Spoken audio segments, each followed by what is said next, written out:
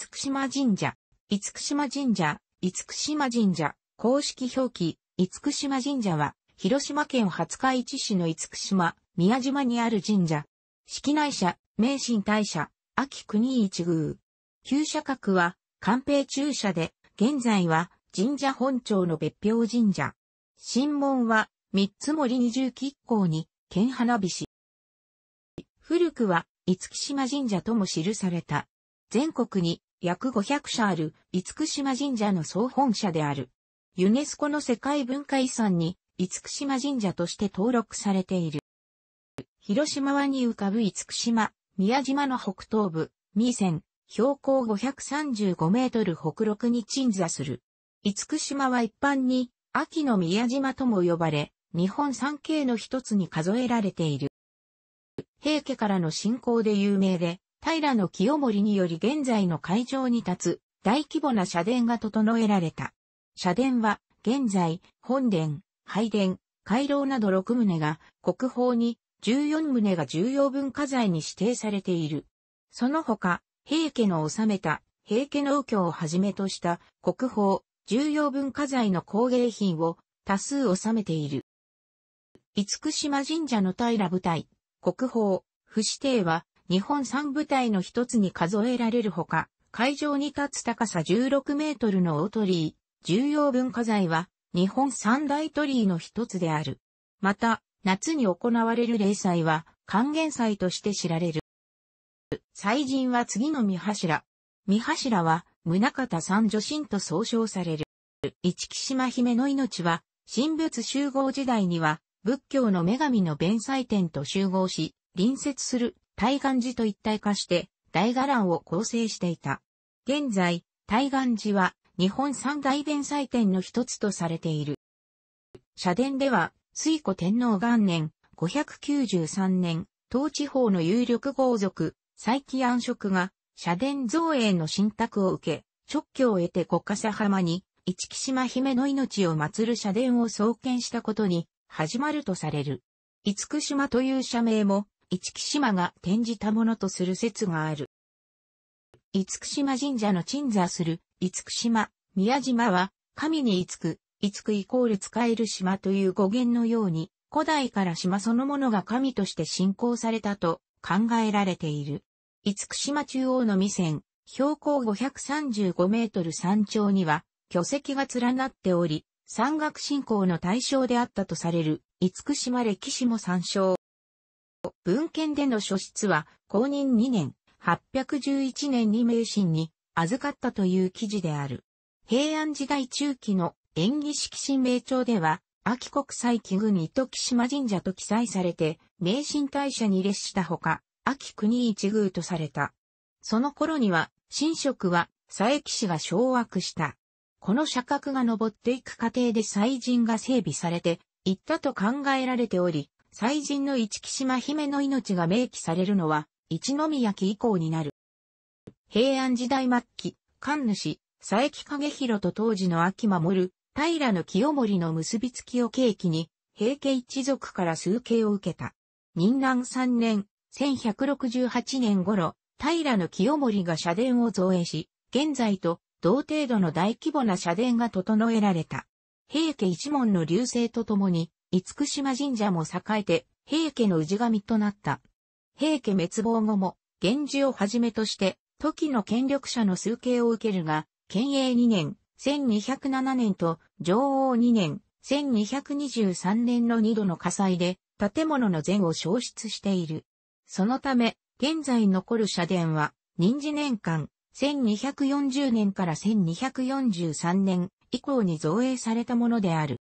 厳島は神の住む島として禁足地とされ、鎌倉時代頃までは、地御前神社、下空において、主な祭祀が行われていた。鎌倉時代末期から南北朝時代以降、社人、僧侶が金を破って住むようになったとれる。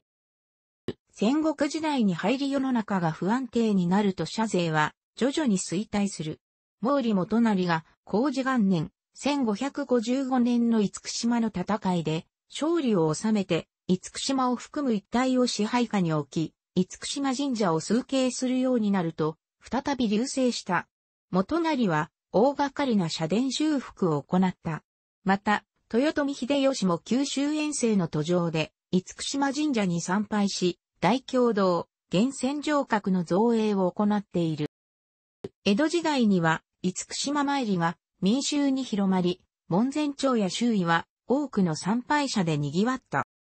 明治維新後、明治新政府が派遣した第三次によって社殿が物式と判断され、神仏分離の原則によって社殿の焼却が命じられた廃仏希釈。厳島神社の棚守る宮司に総統が東京の明治新政府に直訴したことによって社殿の焼却は免れたものの仏教的と考えられた社殿の彩色がすべて剥がし、落とされて白木造に改められ、地義と活木が新設されるなどの復古が行われた。また大共同、戦場閣は内陣の木花を切り落とし、仏像などを撤去した上で、抹社、報告神社に改めるなど、社殿の損壊と分離が行われ、大聖院、旧別当時、大願寺といった寺院が独立した。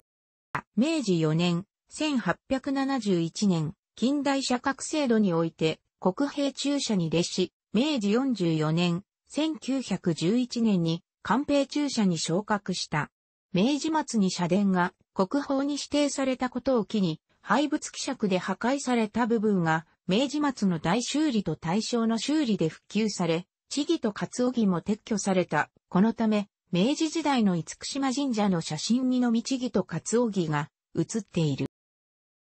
厳島神主や参照。飛鳥時代に厳島神社を創建したとされる再起安職に始まり、文献に記載のない期間を経て、平安時代以降は、代々佐伯氏が世襲したことがわかっている。平安時代末期には、佐伯景弘が平家一門と結んで繁栄を見せた。鎌倉時代に入り上級の乱では、後鳥羽上皇側として活動したため、佐伯氏は神主や当主の座を降り藤原近実が新たな厳島神主家とな。その後の佐伯氏は厳島神社の神官として活動する。以後、藤原氏が戦国時代に滅亡するまで神主家を務めた。藤原氏滅亡後は佐伯氏が復権し、現在に至っている。社殿は海の上に建てられているため、台風、高潮の影響、被害を受けるのは宿命的であり、床の木材を隙間を開けて敷くなどの対策をとっているが、それでも大型の台風が直撃した際には倒壊など、被害を受けることがある。しかし、その度に大規模な修復を行っており、修復することを前提に建てられた社殿であると言える。厳島神社の主要な社殿は、厳島の北部、大野瀬戸に面した有浦、有の浦と呼ばれる湾の奥に立つ。湾の最も奥まったところに、宗方三女神を祀る本社が来た。厳密には、北西を正面として県。本社社殿は、奥の本殿と手前の拝殿の間を平殿でつないで、全体を一棟とする形式であり、拝殿の手前には、払い殿が立つ。払い殿のさらに、手前、海側には、後部隊と呼ばれる高欄付けの部隊があり、武学の奉納などに使用される。その周囲の屋根がない板敷きの部分を平舞台という。平舞台に接して左右の門閣神社、門間ロード神社、左右の落房などの小建物が立つ。平舞台の最も海側は桟橋状に細く突き出ており、この部分をひたき先、ひた先と称する。ひき先の延長線上には海中に大鳥居が立つ。払い殿の側面からは左右に屈折する回廊、東回廊、西回廊が伸び、厳島神社特有の景観を形成している。東回廊の途中、湾の東側には、拙者、マロード神社が西を正面として立つ。客神社も本社と同様に、本殿、平殿、拝殿、払い殿からなるが、社殿の規模は本社より小さい。以上の建物の大部分は海域に立っており、満潮時には建物が海上に浮かんでいるように見える。このような立地にもかかわらず、各建物には何か特殊な建築技法が使われているわけではなく、浅い海底に地上の建物と同様に礎石を据え、杭、束を立て、その上に板床を張っている。木製の杭は満潮時には海水に浸かるため腐食を免れず、定期的に点検を行って、腐食が判明した場合は熱儀を行っている。平舞台のように石像の杭を用いている部分もある。本社本殿、平殿、拝殿、以上一棟、本社払殿、拙者客神社本殿、平殿、拝殿、以上一棟、拙者客神社払戸の東回廊、西回廊の計6棟が1952年に国宝に指定されており、後部隊、平部隊、左右門閣神社、左右落坊は国宝の不、付けたり指定扱いとなっている。記録によると、かつての厳島神社には夏、道、本寺道、上座や長座侍屋があったことがわかっている。また、付加された建築としては、天神社、能舞台などがある。社殿は波の穏やかな瀬戸内海の島の北岸に位置するとは、いえ、海域に立っているため、台風などによって被害を受けることもしばしばである。20世紀以降では、1945年9月17日の山津波で各建物の床下に土砂が流れ込む被害を受けた。1950年9月13日のキジア台風と1951年10月14日のルース台風でも高潮の被害を受けている。1991年9月27日の台風19号による被害は甚大で、左落棒の部材が流出し、それをロープでつなぎ止めている間に、脳部隊が倒壊した。2004年9月の台風でも左落棒が倒壊するなどの被害があった。こうした高潮等の被害のため、外目よりに位置する左右落棒、平部隊などはたびたび修理を受けており、古い部材は残っていない。一方で、本殿、平殿、拝殿などの主要建物は、1991年の台風で日和田吹き屋根がめくれるなどの被害はあったが、建物の根幹部はさほど甚大な被害を受けていない。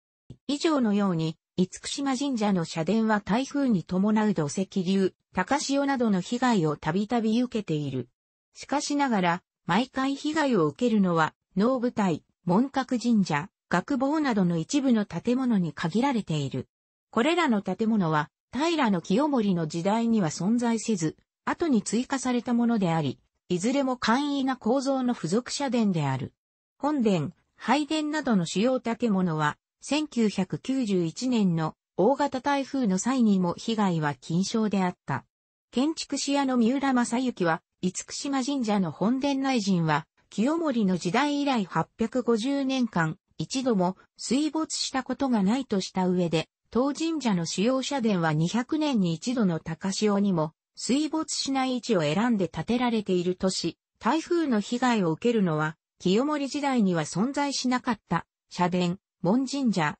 学坊などのみだとしている。また、当神社の社殿が海域に立っているにもかかわらず、柱の不動沈下を起こさないのは、社殿の立つ位置がもともと陸地であったところを掘削して、海とした目であり、社殿は大きな岩盤の上に立っているのではないかとする。厳島神社の社殿が現在に近い形に整備されたのは、平安時代末期であり、秋国主に任じられた平の清盛の援助を受け、当時の官主、佐伯影広によって社殿が造営された。当時の社殿は、上元元年、1207年と上王2年、1223年に火災に遭い、現存する社殿の使用部は、上王の火災後、任時2年、1241年に再建されたもので、ある。本社の平殿、拝殿、払い戸の客神社の本殿、平殿、拝殿、払い殿はこの時の建物であるが、本社本殿は室町時代に建て替えられており、胸札から元気2年、1571年の再建と判明する。この時の再建は火災に伴うものではなく、永禄12年、1569年、毛利元就と対立したビンゴの豪族町兄弟が本殿に立てこもり殺害されるという事件があり、社殿勝ちで汚れたとして建て替えられたものである。これらの社殿は中世の再建ではあるが、その規模や様式は平安時代末期のものを引き継いでいるとみなされている。拙者客神社の社殿は、永享2年から5年、1430から1433年に大規模な修理を受けている。本社、客神社、回廊など海域部分に立つ建物の屋根はいずれも日はらぶきである。本社の社殿は奥から手前に本殿、平殿、拝殿、払い殿の順に並ぶ。これらの社殿の平面や配置を見ると、完全な左右対称型ではなく、平殿と払い殿は、本殿から見てやや西寄り、正面から見て、右寄りの位置に立っている。また、本殿と拝殿は、柱の配置が左右対称になっていない。一般に、神社建築では角、柱間を等間隔にするか、正面中央の柱間を広く取るのが普通だが、厳島神社本社の本殿、拝殿では、最も広い柱間は西寄りの位置にあり、社殿全体の中軸線が西側に寄っている。その理由は口述。本社本殿の屋根は、切妻作りの正面、背面の両方を長く伸ばし、その伸ばした部分をひさしとした形で、このような屋根形式を両流作りという。本殿の柱間は桁行き、間口が正面8軒、背面9軒、張間、奥行きが島である。構造的には桁行き9軒、張間2軒の未車の前後に方向にひさしをつけた形になる。桁行き背面の柱間が9軒であるのに対し、桁行き正面の柱間が1軒、少ない8軒となっているのは、正面側では柱を1本省いているためである。すなわち、背面では、柱が規則的に10本立つ、柱間は9軒のに対し、正面では向かって右から5本目に当たる柱を省いて、その部分の柱間を他より広く取っており、ここが社殿の中軸部になる。本殿の内陣には6基の宝殿を安置する。6基のうち3基には、宗方三女神を祀り、残りの3基には愛、殿神と呼ばれる神々を兵士する。このうち、主神の一木島姫の命の宝殿を安置する部分のみ柱間が他よりも広くなっており、これが前述の中軸部にあたる。以上のような理由で、本社では、社殿の中軸が西方、向かって右にずれてる。本殿の組物は、平三つとで、中備えは中軸部の柱間が変えるまた、その左右の柱間は剣都塚とする。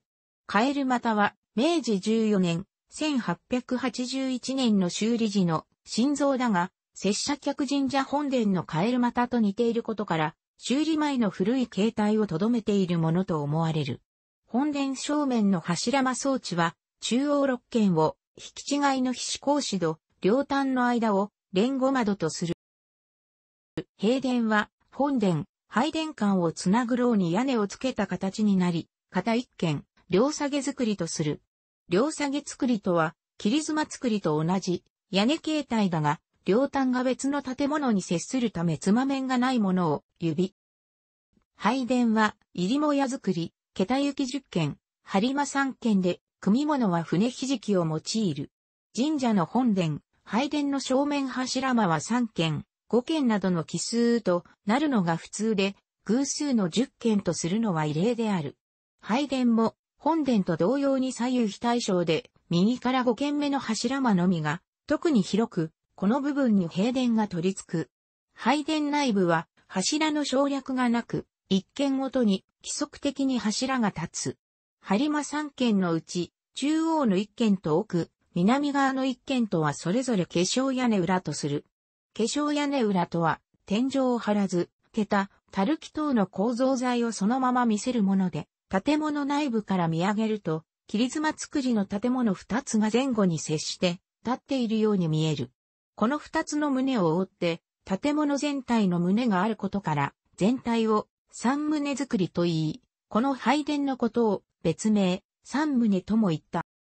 払い殿は、拝殿の手前に棟を直行させて立つ入りもや作り、妻入りの建物で、桁行き六軒、張間三軒である。全面吹き放し、柱間に壁や建具を入れないの開放的な建物である。本殿裏手の陸地部は、後ろ園と呼ぶ金足地となっている。金足地には玉垣を巡らし、中央に不明門と呼ぶ、本河原武器の四つ足門が立つ。不明門は、祭神神線から社殿へ降りる際に通る門とされ、人が通行することはない。平舞台は浅い海底に立てた石柱の上に、大引けと根太を渡した軸組の上に床板を張ったものである。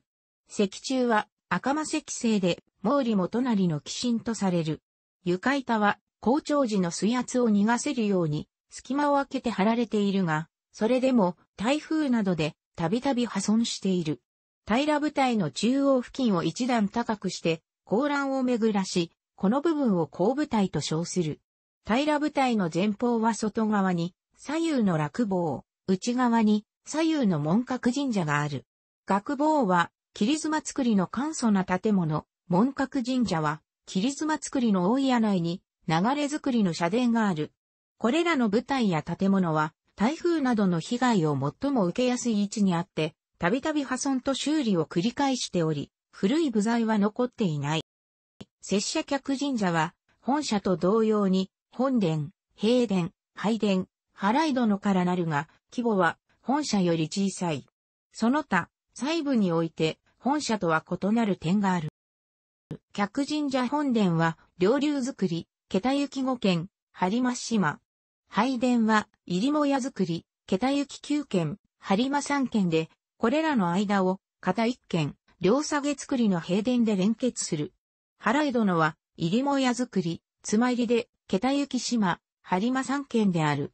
本社では、回廊は払い殿の側面に取り付くが、客神社では、回廊は払い殿と拝殿の間を通っている。また、客神社では、本社の平舞台にあたる板敷きの施設がなく、払い殿は直接海に面している。客神社の本殿と拝殿は、本社の本殿、拝殿と異なって、桁行き柱間が奇数であり、中央の柱間を広く取り、左右対称形の通常の平面形式である。本殿の正面柱間の中像内は、本社本殿と異なり、五軒とも変える股とする。拝殿は、本社拝殿と異なって、内部の未社部分の柱を一部省略して、内部空間を広くとっており、本社拝殿のように前後に二つの化粧屋根裏を作る形ではなく、播磨二軒分を一つの化粧屋根裏としている。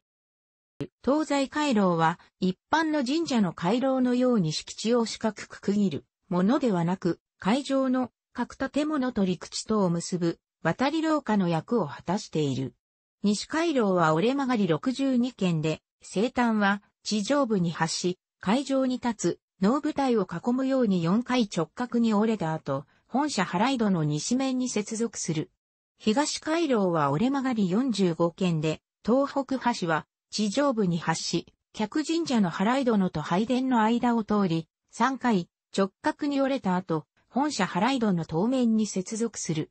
両回廊とも組物は船ひじきとし、平舞台と同様、床板は高潮時の水圧を逃がすため、隙間を開けて張っている。内部加工は、播磨方向に直材の香料を渡し、その上にまた首、サスを組み、また首状の船ひじきで桁を支える。回廊には胸札が多数残り、室町時代末期から桃山時代にかけて順次整備されたものであることがわかる。回廊の現在の床板は明治末期頃に張り替えたもので、摩滅防止のため、本来の床板の上に保護板が張られている。以上の国宝建築物のほか、拙者、末社、付属建物など14棟、厳密には8棟と、橋3基、塔2基、鳥居一基が重要文化財に指定されている。本社周辺の会場に立つ建物としては、拙者大国神社本殿、拙者天神社本殿、朝座や、能舞台、揚げ水橋、長橋、反り橋があり、湾の入り口付近には大鳥居がある。厳島神社の主要な建物は海域に立つが、地上部分にもいくつかの建物がある。本社背後の社務所近くには、あぜ倉作りの宝像が立つ。湾の東岸の塔丘、塔の丘には、抹茶報国神社本殿と五重塔があり、丘のふもとには、抹茶荒越神社本殿がある。報国神社本殿は、戦場閣の通称がある、本川良武器の大建築で、元は、王郷堂と称された。湾の西岸には、宝物館の裏手の高台に多宝塔があり、やや離れた大元裏には、拙者大元神社本殿がある。五重塔、多宝塔、報国神社本殿などの仏教建築が今も残り、神仏集合の名残をとどめているのが、厳島神社の特色である。境内の沖合約200メートルの地に立つ、ゲントリーは、明治8年、1875年の再建である。胸の高さ16.6メートル、柱間10.9メートルの大型の木造両部鳥居、各支柱に2本ずつの控え柱がつくである。支柱は、クスノキの自然木で、控え柱は杉材である。支柱は1本が宮崎県岡府、村、現在都市、もう1本が香川県和田浜、玄関の恩寺市で切り出された。両柱とも1950年の修理時に熱着を行っており、熱着材は当中が福岡県久留米市、西柱が佐賀県佐賀郡川上村、大浅池の上浅池の上、現在佐賀市大和町池の上で切り出されたものである。各支中の立つ基礎は千本杭といって、松材の丸太の杭を密に立てて打ち込んだもので、現在はその上をコンクリートと加工岩で固めてある。鳥居はこの土台の上に自重で立っている。島木とカッサギは箱状の構造で、これらの内部には拳大の石が多数詰め込まれており、その重みによって大鳥居は自立し、風や波に耐えるようになっている。奈良の春日大社、敦賀の気比神宮の大鳥居とともに、日本三大鳥居に数えられる。現在のものは、平の清盛の造営時から八代目と言われる。変額は、有栖川の宮たる人親王の選筆で、沖川は、玄島神社、神社側は、五木島神社と記されている。2012年以降、大鳥居にできた亀裂の部分に一部の観光客によって効果が差し込まれるケースが多発している。神社側は鳥居の柱の老朽化が進む恐れがあり、止めてほしいと呼びかけている。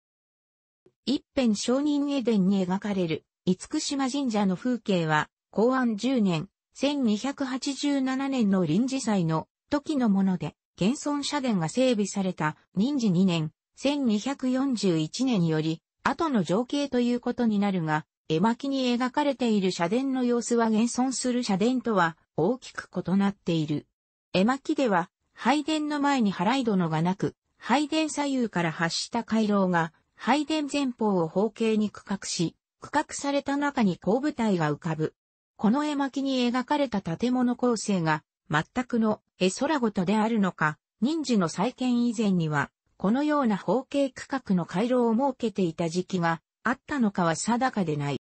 厳島は古くは神の住む島として金属地であったことから、対岸の地に創建され要廃所となされた。後に兵士が流星するとともに下空として発展した。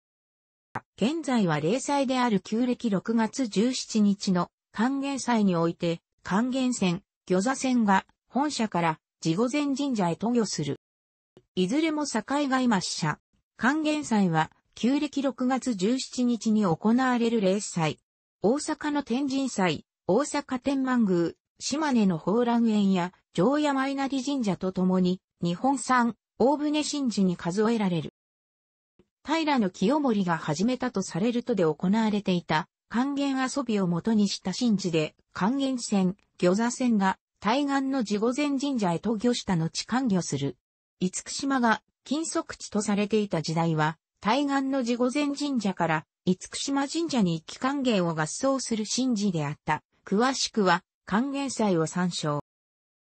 所在地、配管時間、付属施設、交通アクセス。周辺、美術作品だけでも、厳島神社や秋宮島、秋の宮島を描いた二次元表現物は数多く、ここに挙げるものはほんの一部に過ぎない。戦国乱世のささくれだった風潮が払拭されない、江戸時代前期が過ぎ、太平の世が深まって、大衆文化が流星する中期になると参拝、参詣と物見湯山、観光の機運が芽生え、後期に差し掛かる前に、いよいよ機運は沸騰する。そのような中で、山陽道の秋宮島が行ってみたい憧れの山景地として、屈指の話題になったのは当然のことであった。宮島でもとりわけ、厳島神社、厳島神社でもとりわけ大鳥居は、この地域を象徴する画題としてわかりやすく、そして人気が高かった。葛飾北斎の名称清江揃い物、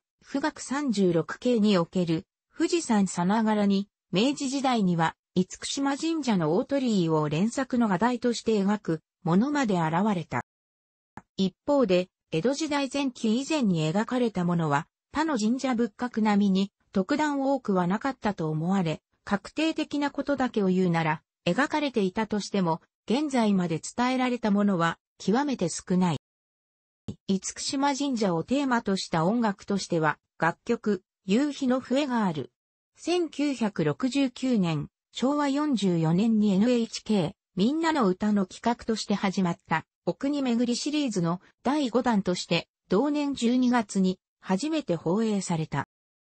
楽しくご覧になりましたら購読と良いです。クリックしてください。